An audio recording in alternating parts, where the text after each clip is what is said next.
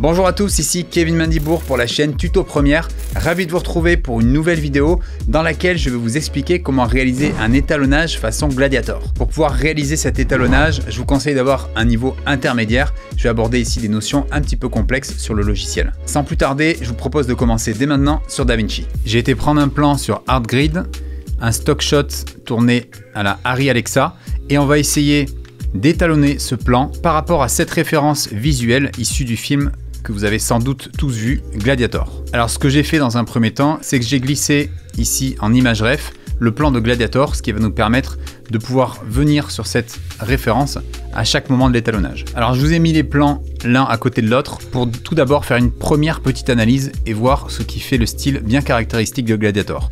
Comme vous pouvez le constater, c'est très bleuté, on a une image ici qui est vraiment bleutée, on peut le voir sur l'arrière-plan ici, vous pouvez même voir dans les noirs ici bah, qu'on a, on n'a pas un noir pur, on a vraiment euh, du bleuté. Ça se retrouve également ici au niveau des cheveux, au niveau de l'armure ici également, et on peut le voir aussi sur le blanc. Et même au niveau du visage, vous pouvez voir qu'on a une teinte ici un peu rouge, mais quand même dans les tons froids.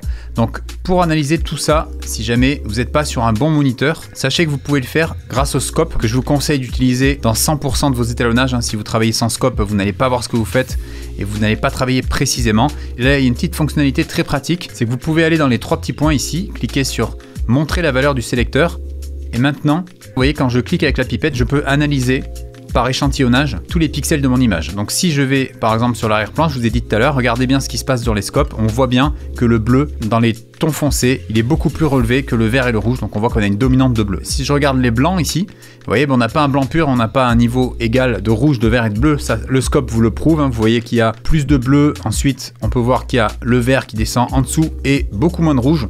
Et idem, si je vais sur le visage, vous voyez qu'on retrouve cette dominante de bleu, même si là c'est moins marqué sur le visage. Hein. Vous voyez qu'ici quand même sur le visage, on garde quand même quelque chose de plus cohérent, de plus réaliste, mais on a quand même une légère dominante de bleu. Donc maintenant, si je prends mon plan de base, qui est un plan en RAW, c'est-à-dire qu'il n'y a aucune retouche colorimétrique effectuée dessus, on est dans l'image brute de la caméra. Comme vous pouvez le voir, hein, le signal, il est vraiment très écrasé, ce qui va nous permettre de tout développer et d'avoir une image très riche en dynamic range.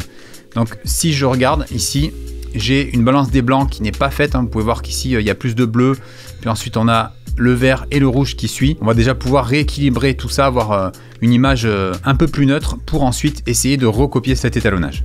Donc je vais commencer ma retouche. Ce que je vais faire dans un premier temps, c'est venir ajouter un nouveau nœud. Donc petit rappel, pour ajouter un nouveau nœud, c'est Alt ou Option S. Je vais appuyer sur Tab et ça, je vais le renommer Rec 709 puisqu'en fait c'est là que je vais faire ma conversion Rec 709.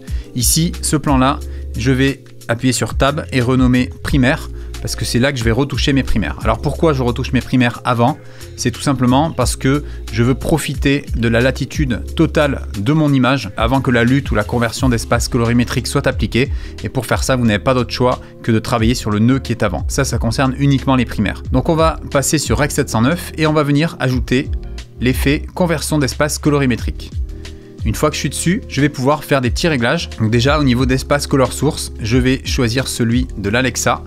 Donc c'est précisément le Harry Gamut 4 dans mon cas. Le gamma source ici, c'est le Harry Log C4. Ensuite, au niveau de l'espace de destination, c'est tout simplement le Rec 709. Idem pour le gamma. Au niveau du mappage de gamma, je vais choisir mappage luminance et dans ma page de Gamut, je vais choisir compression de la saturation. Voilà, j'ai appliqué ma lutte et comme vous pouvez le voir, déjà avant après, on a un changement significatif, c'est tout à fait normal puisqu'on vient de transformer l'espace de l'Ari Alexa vers le Rec 709 qui est l'espace colo traditionnel que vous connaissez tous. Alors si on fait attention au scope, regardez ce qui s'est passé, on a étendu le signal sur toutes les valeurs ici. Vous voyez que c'est un signal beaucoup plus riche. On peut voir également, si on regarde le vectoroscope, on a un signal beaucoup plus riche. Maintenant, je vais passer sur mes primaires et contrairement à ce que vous avez sans doute l'habitude de faire, c'est-à-dire équilibrer tout ça pour obtenir des blancs purs, des noirs purs, etc. Là, on va pas faire ça puisque dans cet exemple, on va partir donc sur une image qui est de base bleutée.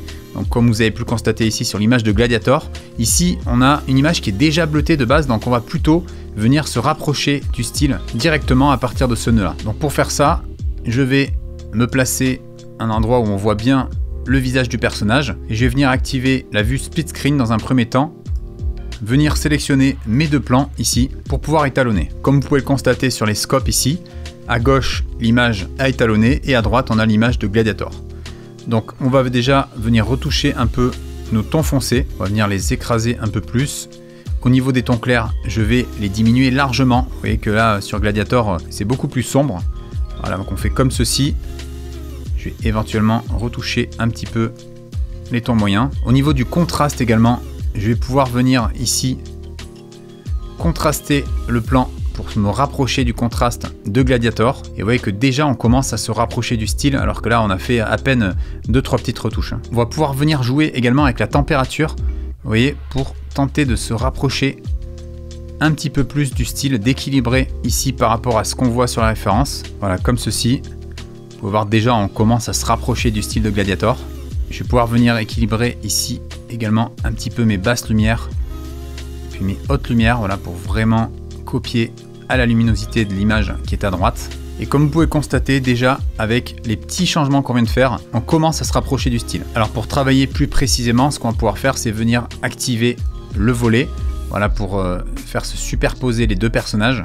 et là si je regarde, voir qu'on a pas tout à fait la même teinte de peau. On va peut-être pouvoir enlever du rouge sur le personnage de gauche. Pour faire ça, je vais ajouter ici un nouveau nœud, puis un nœud en calque sur lequel je vais venir détourer le visage du personnage. Je vais venir prendre ici mon sélecteur et je vais sélectionner toute la peau du personnage et je vais faire Mage H pour afficher mon masque. Alors je vais bien évidemment améliorer cette sélection. Alors pour améliorer cette sélection, je vais venir jouer avec tous les réglages ici dans sélecteur HSL. L'idée c'est que vraiment vous n'ayez que la peau de sélectionner. N'oubliez pas de rajouter du rayon de flou pour lisser tout ça. Alors une fois que vous voyez que vous avez bien vos teintes de peau sélectionnées, vous allez pouvoir les retoucher. Donc là ce qui va être intéressant c'est de regarder les scopes. Une fois que vous avez détouré la peau, vous pouvez venir ici avec les roues colorimétriques dans Gamma, orienter la teinte de peau voyez, pour vous rapprocher du style que vous voyez dans Gladiator.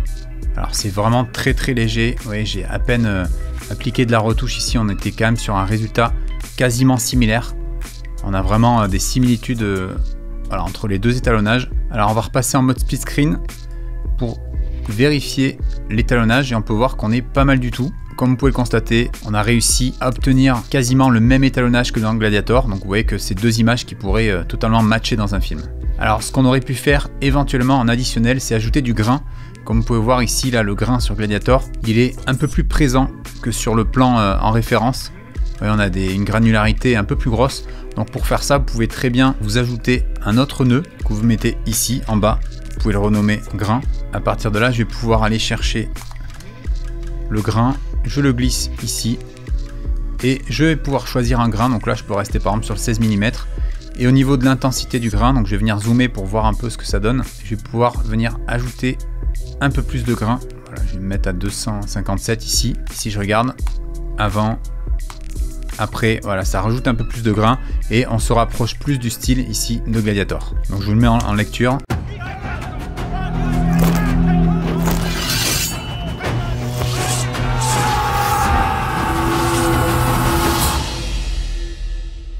Ce tutoriel est à présent terminé, j'espère que ça vous a plu. Si c'est le cas, n'hésitez pas à mettre un petit pouce bleu. Pensez bien également à vous abonner à la chaîne et activer la cloche pour recevoir les notifications à chaque sortie de nouvelle vidéo. Si vous souhaitez devenir un vrai pro sur Premiere Pro, After Effects ou encore DaVinci Resolve, je vous rappelle que je propose dans la description une heure gratuite de ma formation complète École des vidéastes. Cette formation à la vidéo 100% en ligne vous aidera à progresser en vidéo, même si vous débutez totalement à travers plus de 1000 vidéos tutoriels, 100 heures de formation et un mentoring en sur les logiciels Premiere Pro, After Effects ou encore DaVinci Resolve. Rejoignez dès à présent une communauté grandissante de plus de 1000 vidéastes passionnés qui progressent ensemble jour après jour au sein de la formation. Si vous souhaitez en savoir plus, je vous invite à cliquer dès maintenant sur le lien dans la description. On se retrouve très bientôt pour une prochaine vidéo. D'ici là, n'oubliez pas, restez créatifs.